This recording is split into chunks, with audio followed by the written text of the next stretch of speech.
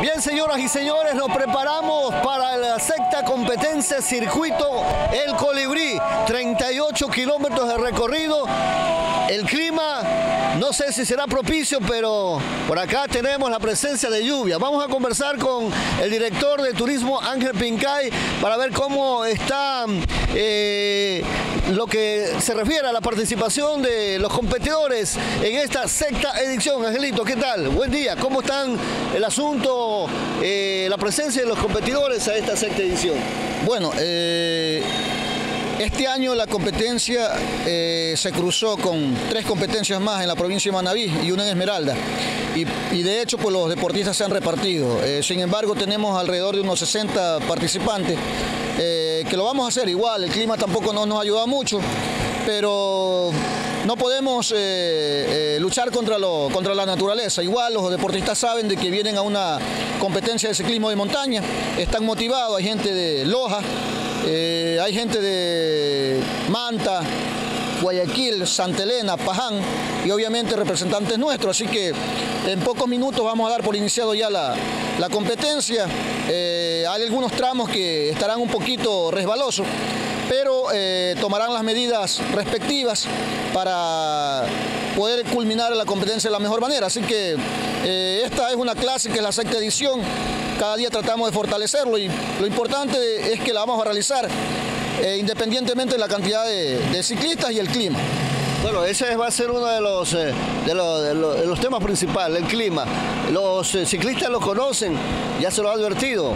Va a haber un tanto de, mucho cuidado durante este tramo que se va a realizar. Sí, sobre todo en la parte de entrada del sector Quebrada Onda hasta Guales, el descenso, que hay un poquito de lodo y un poquito de o sea, lodo y un descenso. La otra, el otro lugar es a partir de la comuna El Pital, el Río Blanco, hasta bajar al Tamarindo.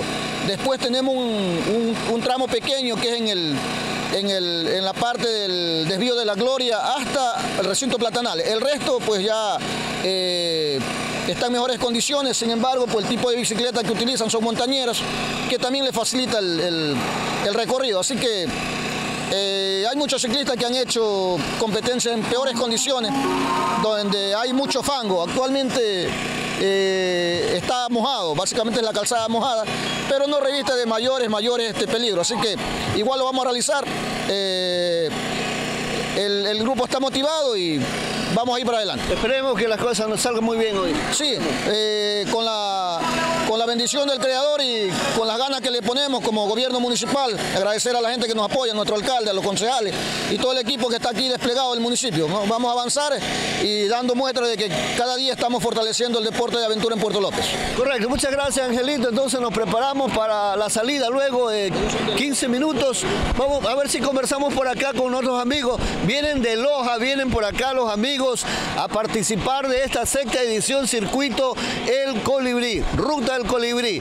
El clima, el clima quizá eh, sea su aliado o no. Todo, esto es lo que nos gusta porque la montaña tiene de todo y lo más importante de todo que estamos aquí en Puerto López, un pueblo muy bonito, muy hermoso, invitado por el vicealcalde Siderman porque nosotros somos los de la travesía de Loja Zamora, que venimos en el mes de junio, pero siempre es importante la hermandad dentro del deporte, ¿no? Y, y el clima más que todo nos acompaña porque nos gusta esto.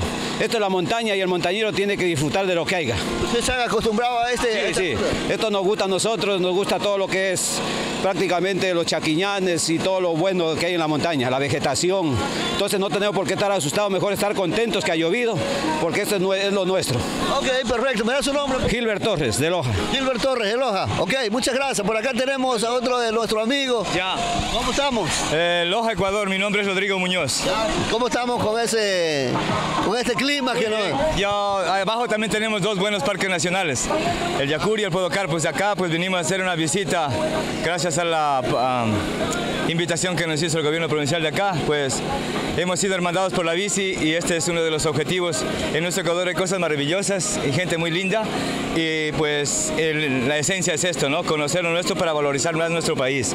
Y vamos, estamos listos a compartir las emociones de esta rica carrera de aventura.